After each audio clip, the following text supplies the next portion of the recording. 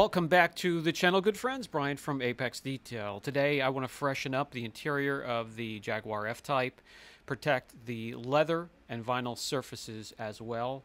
And today I want to use the Color Lock new leather care kit. This is the mild kit. They have a mild and a strong. Uh, the interior is just very lightly soiled, some body oils and, and light contamination. I want to clean that up and protect it. You're going to get about three months or so out of this kit here. Uh, you can use this for new vehicles or to maintain an existing coating uh, on leather seats. Uh, don't forget, Modern Leather has a top coat that is uh, their version of a clear coat for leather, and it uh, protects them from spills, UVA, UVB, and other contaminants.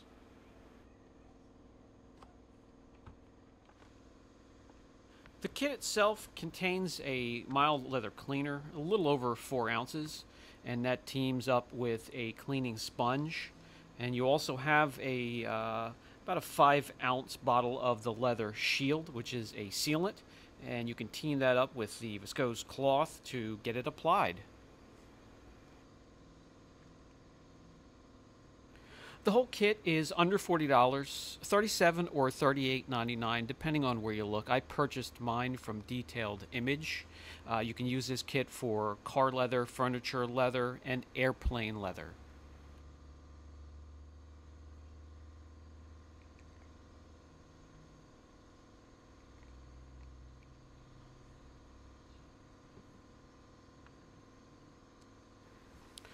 Let's get ready to protect the vinyl and leather. And to do that, everybody does it a little bit differently. I like to start off with compressed air and work any grit or um, dirt or dust out away from the seams and in between the patches or panels.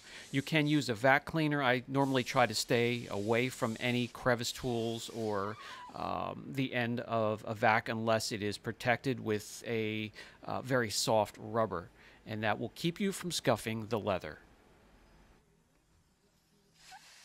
I'll just move the seat front and back and lay it back and lay it forward and get as uh, as much of the exposed leather as I can and clean between the stitches between where the uh, the patches of leather or vinyl come together. Uh, that's where uh, it rubs together and if there's grit stuck in between those area uh, with you sliding in and out of your vehicle as you enter and exit it, uh, those areas will wear down quickly. So I go after them first, clean it out, and then it's time to break out the foaming uh, gentle cleaner. This is again the mild kit, so this has a mild cleaner, and you can get a strong kit if you have a heavily soiled interior.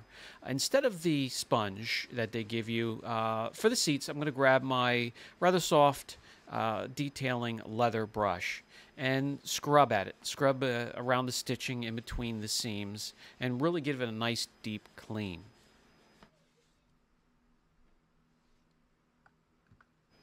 Pulling the seams apart as far as I can for that nice deep clean and uh, going all the way around the seats, starting with the base of the seat and the bolsters. Then I will again move the seat back and forth, lay it back as far as I can, move it forward as front as I can to get as much of the exposed leather as possible. I will then mop up the foam and the liquids left over and the dirt that I could have agitated free from the leather with a damp microfiber towel. Not dripping wet, just run it under a cold tap and wring it out so it's just slightly damp. And just continue that process one patch or piece at a time uh, all the way around the seats. Time to move on to the protectant, the sealant itself, and you do get a few cloths with it and you can fold that up into squares to uh, apply the product and the sealant.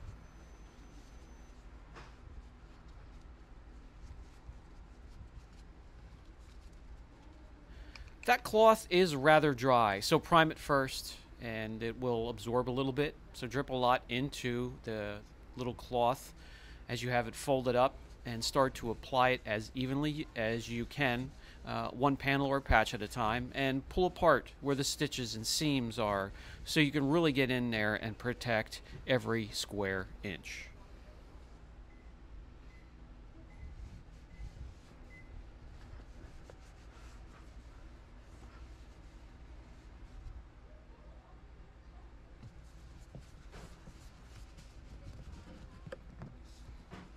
Just like many coatings available, it will go on at the, the very start a little bit glossy. Don't panic at all whatsoever.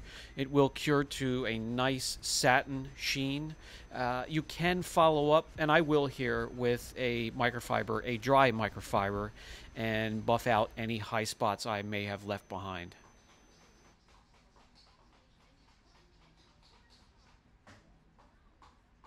The kit is really a piece of cake to use. Just take your time and make sure you're getting a nice even layer of the sealant on the leather or vinyl.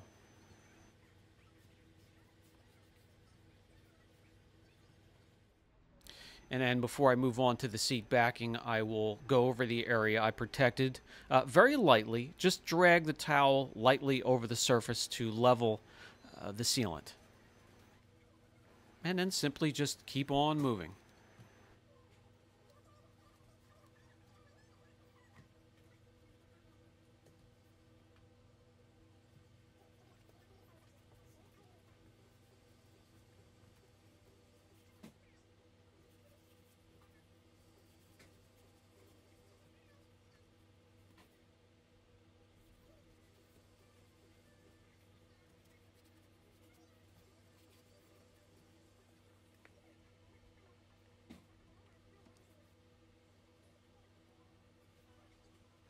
And again, I'll be moving the seats forward, backwards, tilting front, tilting back, trying to protect all of the exposed leather that I can reach.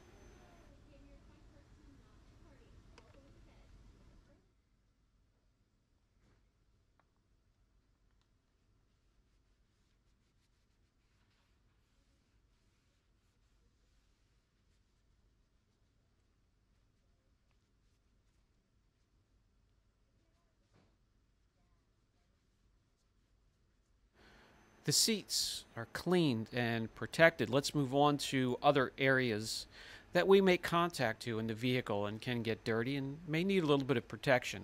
Every once in a while, someone might uh, rest their arm up on the door panel armrest, so we're going to clean that area and surrounding areas. And since they are either leather or vinyl, we will protect them as well. I will team up that uh, foamy cleaner, the mild foamy cleaner, with the foam pad that comes with it.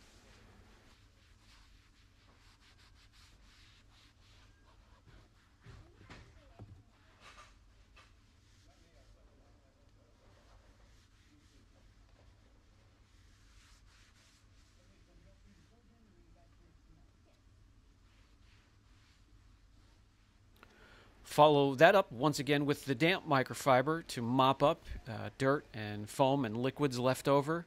And then it is time to protect. Um, when I'm doing this, I will wipe and make sure it's completely dry. If I do have to follow up with another dry microfiber, I will do so.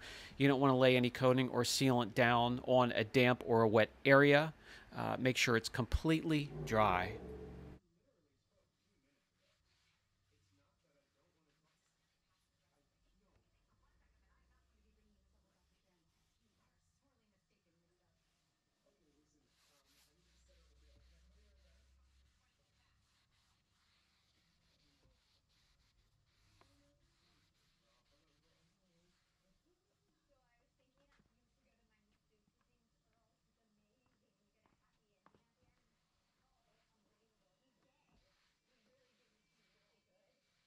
Some also tend to rest the arm on the center console lid for uh, the compartment. Uh, when I drive, I try to make a conscious effort to tuck my arms in so they're not resting on those areas, and that way the uh, leather or the dye will not get worn down. Um, what do you guys uh, do? You guys do that as well? Just kind of drive, keeping your arms maybe on your laps or tucked in, just to keep those areas looking pristine and clean.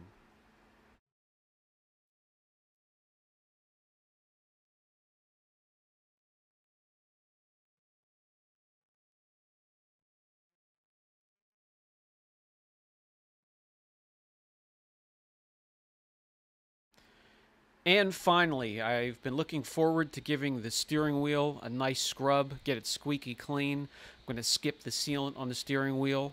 Um, I don't want any slippery material.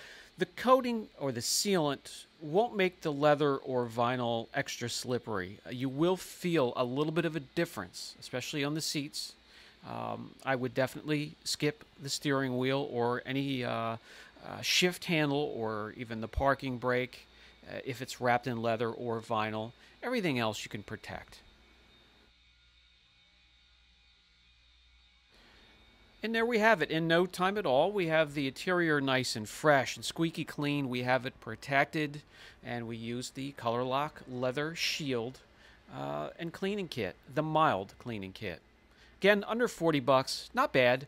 Uh, keep the sealant on hand. Uh, the Cleaner is a great thing to keep on hand as well for any plastic or vinyl or leather. And reapply that sealant maybe every three, four, five months, and you'll be in good shape. You can also use the sealant to maintain a leather coating, a full blown coating, a long term coating for leather and plastic.